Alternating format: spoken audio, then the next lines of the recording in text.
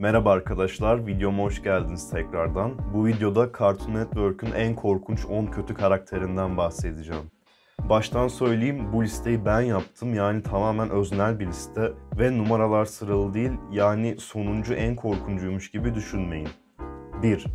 Aku Biraz daha bilindik bir karakterle başlamak istedim. Listenin geri kalanı daha az popüler karakterlerden oluşuyor. Aku görünüşü itibariyle fazla korkunç olmasa da o yıllarda izlediğim diğer çizgi filmlerdeki kötü karakterleri kıyasla inanılmaz güçlü olması ve hiçbir bölümde asla yenilmemesi onu benim gözümde farklı ve biraz da korkunç kılıyordu.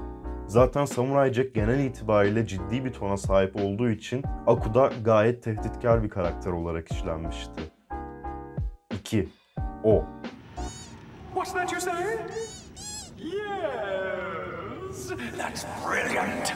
Powerpuff Girls'u hepiniz bilirsiniz ama eski klasik Powerpuff Girls'u hepiniz bilmeyebilirsiniz. Yeni seride nasıl bilmiyorum ama bahsettiğim seride adı bile bilinmeyen sadece O denen bir karakter vardı ve o kadar korkunçtu ki. Tasarımıyla, davranışlarıyla, her şeyiyle bu karakterde bir tuhaflık vardı. Erkek olmasına rağmen kadın gibi davranmasından bahsetmiyorum bile. 98 yılı için oldukça iddialı bir karakter olmuş.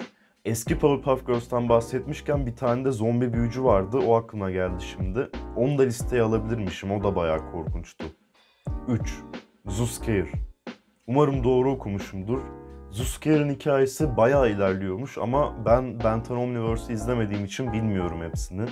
Yine de izlediğim yere kadar bile bayağı korkunç olduğunu söyleyebilirim. Benten Klasik'te Gölge Hayalet'in Omnitrix'ten kaçtığı bölümde küçükken gerçekten korktuğumu hatırlıyorum.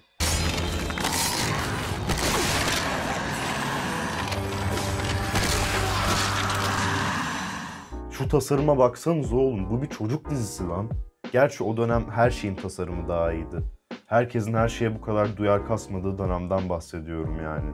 4. Kanker kardeşler.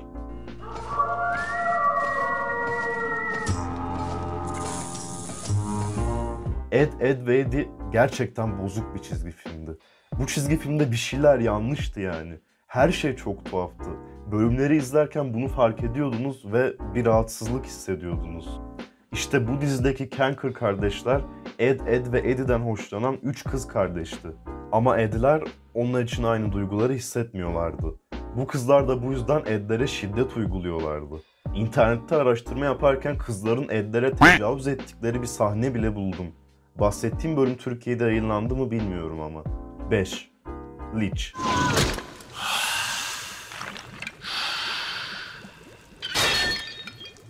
Bu karakter de bayağı popüler yani fazla anlatmaya gerek yok. Leech, Adventure Time gibi aşırı masum gözüken bir çizgi filmde bayağı sırıtıyordu. Hele Billy'yi öldürüp vücudunu giydiğini öğrendiğimiz bölüm cidden çok korkunçtu. Leech seri boyunca sürekli farklı görünüşlerle karşımıza çıktı. Bazıları cidden komik ve tatlıydı ama Leech'in orijinal formu ve hikayesi tüyler ürperticiydi. 6. Kompozisyon. Naber müdür? Bu bölüm ve bu karakter bir neslin travmasıdır gerçekten. Regular Show'un bu tarz korku kastığı özel bölümler bir sürü var aslında ama neredeyse hiçbiri Türkiye'de yayınlanmadı. Mesela ben bu bölümlerden birini İngilizce olarak izlemiştim. Mordecai'nin amcasının ölümünü konu alıyordu bölüm. Türkiye'de yayınlanmamasına şaşırmadım o yüzden.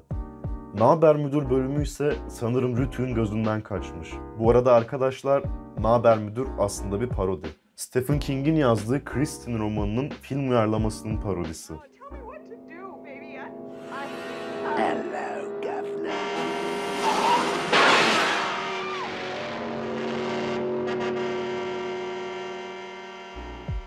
Yedi, Zombozo. Benim palyaço korkum yok ama olanların küçükken bu karakterden çok korktuğuna, olmayan birçok kişinin de sırf bu karakter yüzünden palyaçolardan korkmaya başladığına eminim.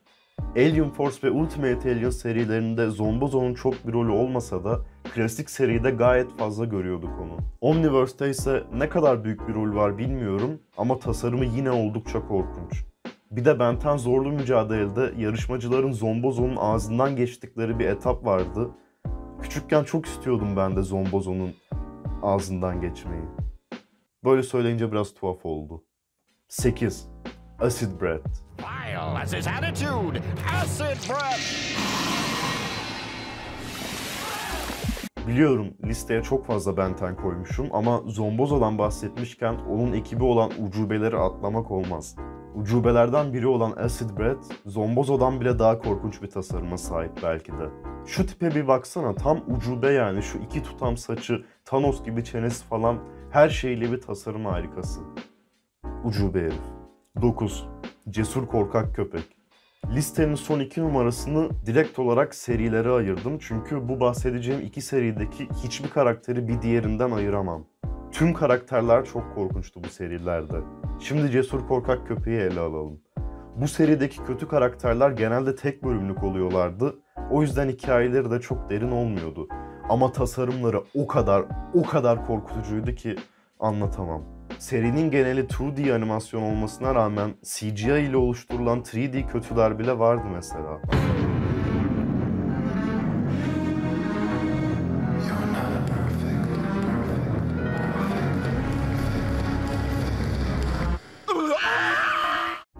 On, Flapjack. Listemizin sonundaysa Flapjack var. Eminim birkaçınız bunun geleceğini fark etmiştir zaten. Flapjack'te cesur korkak köpeğin aksine sadece kötüler korkunç değil.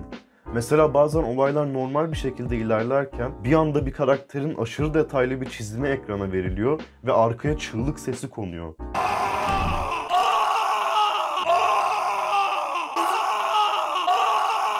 Bu çizgi film hangi kafayla yapıldı hiçbir fikrim yok ama ben küçükken çok seviyordum. Korktuğum da çok oluyordu tabi. Bir tane deniz kızlı bölüm vardı mesela ondan cidden korktuğumu hatırlıyorum. Bir de ben küçükken dizideki Şeker Adası'nın gerçekteki Sakız Adası olduğunu düşünüyordum. Haritadan bakınca da o yaşta Sakız Adası'nı Yunanistan'ın değil bizim sanmıştım. Yani Flapjack ve Kaptan Türkiye'ye gelmeye çalışıyorlar sanıyordum. Bu kafayla izleyince dizi çok sarıyordu. Evet arkadaşlar bir videonun daha sonuna geldik. Daha fazla bu ve bunun gibi içerikler için videoyu beğenmeyi, kanalıma abone olmayı ve beni diğer bağlantılardan da takip etmeyi unutmayın. Görüşmek üzere.